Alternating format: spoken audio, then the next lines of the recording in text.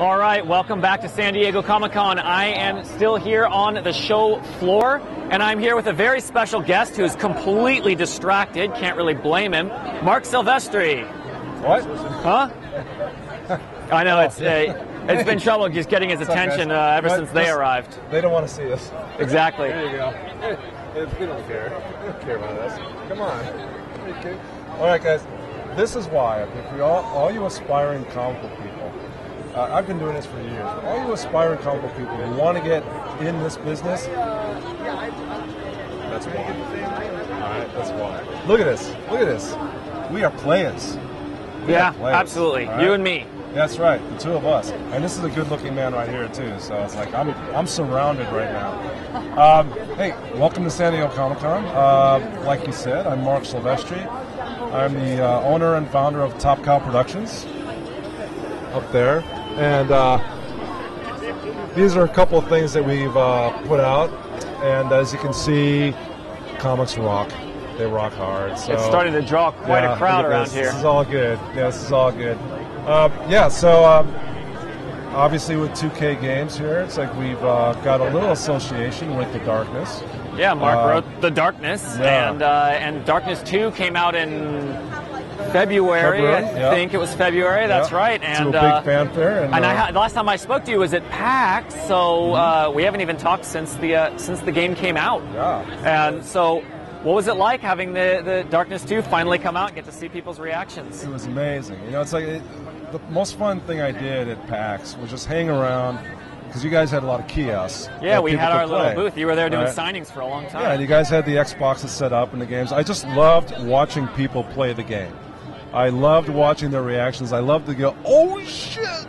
And I loved the sadistic glee you get out of tearing people in half. It's like uh, you guys did such a great job with both the Darkness 1 and the Darkness 2. Why, thank you. Oh, no, it, it was awesome. it was all me. No, that, Uh, I, it was, not wasn't it? really. There are Yeah. a lot of people involved. Oh, we want to cut to the girls again? Okay.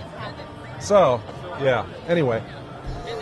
For anyone that didn't finish Hey, where's Emily? Emily, get in there. Darkness 2, Get in there. uh, big spoiler alert. This is uh, oh no, I forgot the name of the Oh, character. This is the Angelus. Angelus. Yes. Uh, Big if you spoiler didn't finish alert. Darkness 2, shame on you. Uh, but uh, the Angelus is Oh, look, revealed at she's the end flying. of a Darkness 2 if you Oh, wait look, through the credits. flying away right now. Nice. That's right, articulated wings. That's it. It's pretty great. More articulate than I am. Isn't that badass? This is Aphrodite 9, another one of our top cow characters who is part of the new Cyberforce launch, which, if you go on Kickstarter, we're doing something very, very interesting. We're actually rebooting Cyberforce and relaunching it as a comic book for free. I hadn't seen that. Absolutely I'm for always free. on. I'm on Kickstarter every single day. I'm going to Yes. have to go check that one Kickstarter out. it launches um, on Monday or Tuesday, but go to Kickstarter, and the basic idea is that donate something for a really cool thought, a really cool cause.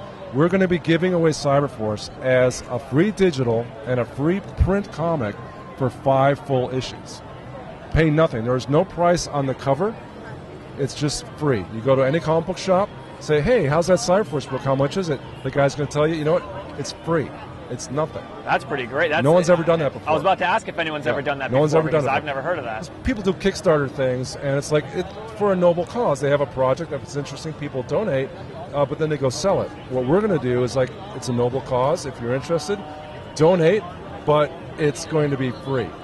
Yeah, that is really cool. yeah, we want That's your help to make unusual. it free. It's I'll like- go back it once I, as soon as I get back to the office. Exactly. I mean, years ago, um, you know, before paper, when I was younger, uh, there was, you know, PBS. And there was a show on uh, PBS that you could only get on PBS, which is public broadcasting, which is all uh, donated funds to keep the uh, network running. Uh, there's a call, show called Monty Python's Flying Circus. And the only place you could see it was on PBS. And the whole idea behind PBS is that people give money and they help support what PBS is about. The shows they want to see, no commercials. We're kind of taking that model and doing on Kickstarter with the relaunch of Cyberforce helps support the project, helps support Cyberforce because it's going to be free. Anyone can download it anywhere, including the torrent sites, because the genie's out of the bottle. It's going to happen anyway. So go ahead, look at it online if you prefer. Go to a comic book shop. It's still going to be free. Full color, full length comic, 32 page comic book for five months in a row. free. And that for 99 is part of that relaunch. So we're going to have some fun. And over here, this beautiful woman right here, this is Emily Lazar, who is going to be the star of our other incredible project called September Mourning up there, which we're doing in tandem with MTV. And it's going to be a true cross media, transmedia platform destroying uh, story uh, of Emily and her music. She's actually a hard rocking, um, heavy metal musician. Uh, the band is actually called September Mourning, and we're creating a character based off of exactly who she is. And the story is going to span not only comic books, but also webisodes via MTV, which will be a hybrid of live action and animation, uh, but also in her music, in her albums, and her live performances. It'll all be story based, and all will intertwine with each other, and it's going to be badass and really cool. Also, That's pretty, social you gotta, media. guys have a whole bunch of stuff, cool Oh, yeah. stuff lined up. Yeah, we're not chimps. We're not I, hanging I around. thought we were just going to talk about the darkness. You No, we, we got plenty of time for that. They got nothing else to do. Who else are you going to talk to? Robert Downey Jr. Come on, what has he done? Jeez, look at this. Does he look like that? No. Come on. Yeah, that is a that is an advantage that you guys have right here at your booth. So let's talk. Uh, yeah, so uh, you've been here uh, all the, the entire time since Yes. this the whole since Comic Con. Oh my God, how many days has it been now? Uh, started on Wednesday. That's right. So you were here Yeah. for preview night as well. Yep. The whole Yep. time. Yeah, I mean, Uh, Comic Con has become. I don't know how, how many years you've been coming. here? Uh, this is my first Comic Con. Are you serious? I've been to PAX and PAX East and E3 a whole bunch of times for all of those. a But Comic Con virgin, right Comic-Con, here. is- is wow. never- You went. You know. You, this is one of those virgins that didn't like lose it to the love of their life in high school. This is a guy that ran into a full-on gangbang because this is San Diego Comic Con. All right, you lost it to like a group full of people. All right, this Uh, is the. It doesn't get any nuttier than this. Don't. Well, don't I gotta say, don't be I'm afraid actually, of the truth. I'm actually really impressed with Comic Con. I mean, Yeah. like I said, I've been to I've been to the PAXs, I've been to uh, to E3, Mm-hmm. and I mean, after going to E3 professionally, I Come on. I actually would not want to go there for fun. It is, I mean, it's it's a it's a trade show, it's a business Yeah. event. This place This has fun. been so cool. Look I around. love the look variety. At, look at how fun this stuff. is right here. Come on, this is I mean, awesome. you got Look at that. the That's amount of awesome. enthusiasm that all the, the fans here is more than any of the other conventions I've seen. It is Right? it is really cool. Right. I It's mean, also larger than any of the others. It's crazy. It's Unbelievably crazy. large. But you know what? It's it's a, a festival of people that just love to pretend, and they love the whole wish fulfillment aspect of comic books and video games. Uh, it's, San Diego Comic Con is truly a, the mecca of pop culture. It didn't used to be this way. Uh, I've been coming here for 22 years. Wow. Yeah, and the big switch happened about you know 11, 12 years ago, and certainly 10 years ago, um, where suddenly Hollywood and the rest of the world discovered what all of us comic fans have known for years: that comics kick ass. And now, with digital technologies, you know, Spider-Man can actually look pretty cool climbing a, a wall, which he didn't, you know, a few years ago. In the in the early days Yeah, of yeah, no. he didn't. So finally, Hollywood, as you can see, has caught up with what we've known, you know, for years and years and years. And Comic Con is a celebration of that. You know, it's a big cluster, you know, but it's a fun cluster. It really is, and it's like there's so much enthusiasm and so much love for the genre, and we've had so much love for the darkness at Comic Con. Uh, when we when we premiered the Darkness Two here last year, Yeah, that's right. Yeah. My uh, the other community manager, I believe uh, 2K David was here Yeah. last year. That's Uh-huh. why I wasn't here. Um, and uh, so he got to experience it. He Yeah. warned me. He tried to warn me what it would be like. warn. But you can't. uh, you- And You can't right. describe it. Can't can't describe it. I mean, we're bringing it to everyone live, and we're trying to show all this stuff. I don't think the true, just how gigantic No, it is. and, and comes you have to, you have to feel it. You have to smell it. You gotta like just be it. You, know, you got you got to make the trip out here. If, if you're a fan of of uh, the superhero genre or the action adventure genre, I mean, you're going to have to make the trek out here at some point in your life. We have people. I've met people all weekend from Australia, from Japan, from uh, all areas of Europe. Um, from the Middle East, it's like just who make the special trip to San Diego just to be here. And for us, it's like, thank you. You know, I mean, thank you for loving comic books. Thank you for loving video games. Thank you for your support of all things Top Cow. Uh, 2K just, they did an amazing job on The Darkness. You guys, if you have not checked out the game yet, you have to because, well, she's in it for one thing. It's like, like that's worth the price of For admission. a, for a moment, she's in it. Yes. yeah, she's in. That was that was a great. That- that that's all you can handle of this Yeah. is a moment, right? You can't handle any more than that. yeah. uh, and of course Aphrodite again. It's like, uh, but we appreciate the love of um, all things Top Cow, and again, the Darkness has been a great success for us. On that note, also, uh, we have announced here at San Diego that the Darkness is going to be a feature film, and not just a direct-to-video, not just oh, kind of do we have a budget for this, but a major motion picture. Uh, we also just announced that uh, Mr. Len Wiseman is on board. Uh, you guys may have heard from about him from Underworld, and he's got some movie coming out called Total Recall uh, this year. Uh, Yeah, but you can't help but walk five feet through outside. They got ad, they got Oh, their yeah. uh, banners all Yeah. over the place. It's pretty cool. So we're incredibly excited that uh, Len is now part of the Top Cow and uh, Darkness movie, and uh, we hope that uh, people will enjoy uh, everything that we have coming up. And uh, again, the 2K game, the Darkness One and Darkness Two, brilliant. Yeah, you guys have no excuse not to play it. I mean, go buy it.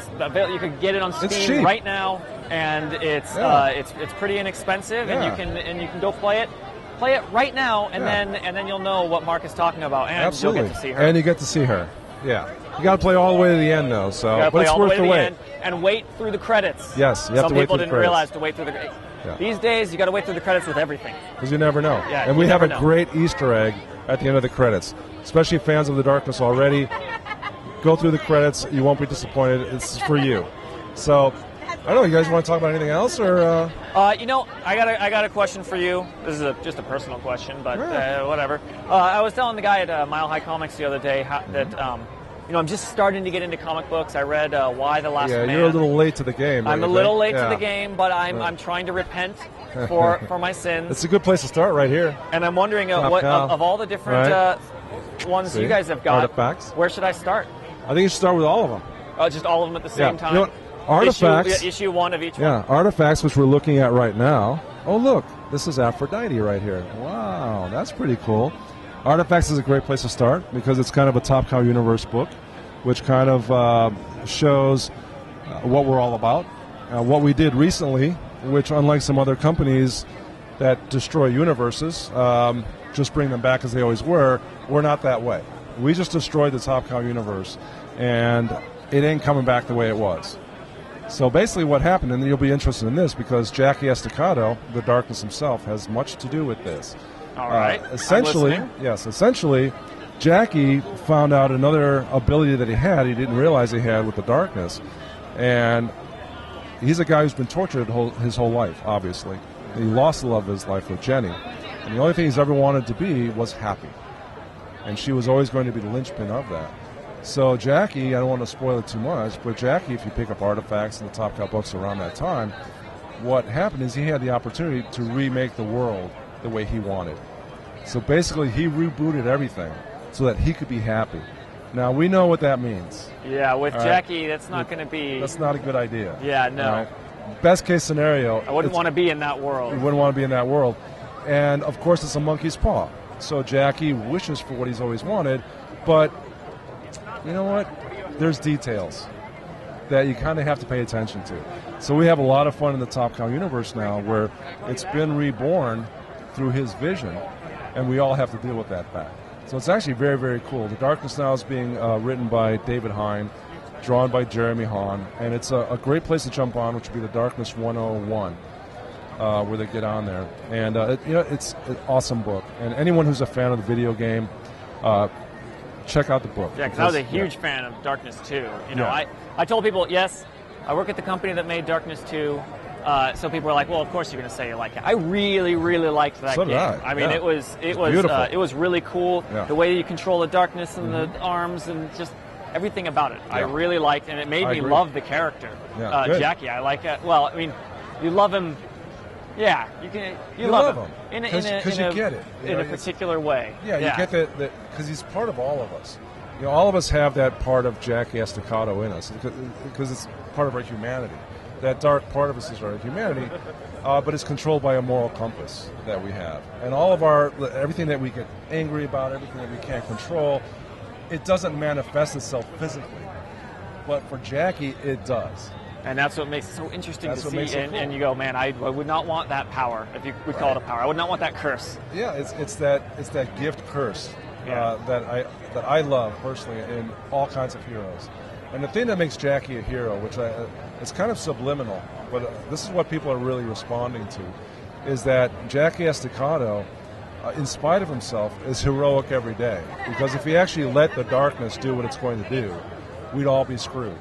So he has to make this constant battle, internal fight, do the right thing as best as he knows how. You know, as human beings, we all do the best we can as we know how. And Jack is just really an extreme version of that. He's not Superman. You know, Right, he's just no. the opposite. You know, Jackie didn't land on Earth from another planet with these incredible powers and just wound up having the most incredible foster parents you could ever ask for. That didn't happen with Jackie, it's just the opposite. You know, and I think that's what makes him far more heroic than a lot of other characters, is that he came from so little. Not only so little, but he had all the cards stacked against him. And I think and the Darkness 2 game really explores that well. Yeah, it does. Which is like you said, you, you like the guy, you're pulling for him. Yeah, you're absolutely rooting Yeah. for him, and, Yeah. and, and All this murder the darkness mayhem. is such an interesting villain because it's so. Mm-hmm. kind of amorphous, but it's a part of the hero, and, Yeah. and that's that's what I like is that Yeah. you know it's, You're- the, you're it's gonna- same character who is It kind of both. Yeah. I mean, the darkness is its own character, but it's Yeah. it's a part of Jackie in a unique way. You're not going to find a lot of characters out there whose power is a character. Yeah, Jackie Estacado's darkness power is a sentient thing. It's something that we're all made of. And it has its own desires and wants and has its own will. Unfortunately for them, uh, and us rather, it's very twisted. You know, so Jackie really is a hero. You know, he's, he's trying to save himself, obviously, and trying to do the right thing, but if he doesn't, we're all kind of screwed. All right. Well, I'm definitely going to have to pick up the, Yes. uh, the the name of it was uh, Artifacts. Artifacts is good way to start, and of course, Cyberforce is coming out in October, and it's free. So please, everyone, you know, hit Kickstarter. We launch on uh, Tuesday, I believe, of next week. Just see what we're talking about. Uh, help us make this a free book. Help us kind of change the paradigm a little bit in comics. Um, it's an experiment. We'd like you guys to join. Uh, we think it's going to be really cool and work. Um, but you know what? Top Cow Comics, Top Cow Productions, we're just having a good time, and we want you guys to have a good time with us. Uh, but, sir, let's get some swag for you. Oh, absolutely. Yeah, yeah. Free stuff. Get you started. Get you Uh, going back. I, I would like that very much. right, awesome. And Kona's the Corner. right guy to talk and to. 2K. You guys rock. This is fucking sweet. This is just sweet. Seriously, you guys rock. 2K, you guys, you did proud. You made it happen. And um, we're just really having a great time. Thanks, right. guys. Thank you. And we'll head on back to the uh, Hard Rock Hotel where uh, Ronnie and Sasha, I think they're actually, no, you know, one of them's coming. I don't remember who's back. Someone's at the Hard Rock Hotel. We're going to go to them.